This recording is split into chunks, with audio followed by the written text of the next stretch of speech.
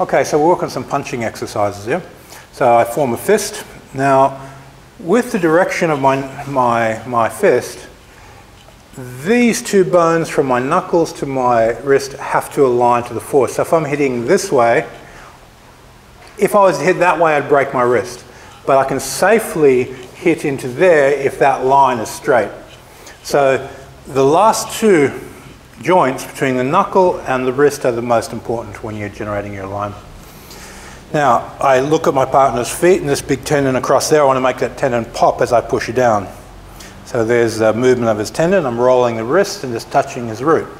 Once I've established that connection, the feeling of that connection, he presses in towards my feet and I roll underneath his feet. So I'm rolling this joint, this joint, this joint, and I just roll and stretch.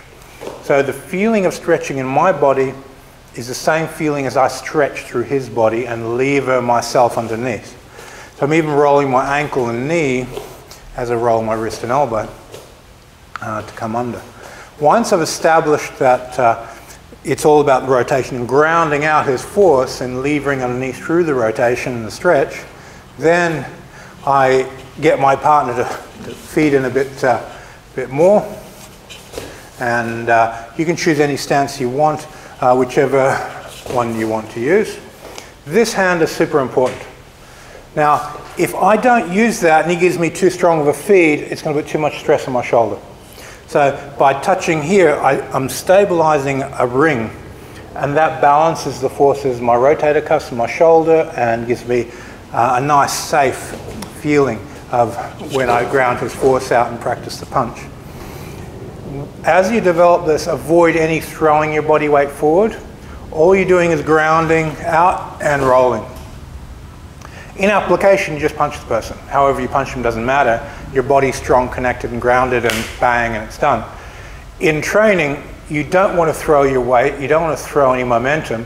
All you want is to ground out, roll, and sink to the ground while you're stretching through your partner and levering underneath them through your stretch.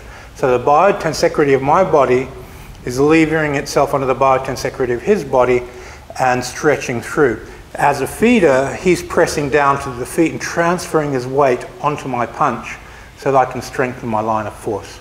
So this basic way of developing punching power works incredibly well. It's a very strong, even line, so people will pick this up very, very quickly.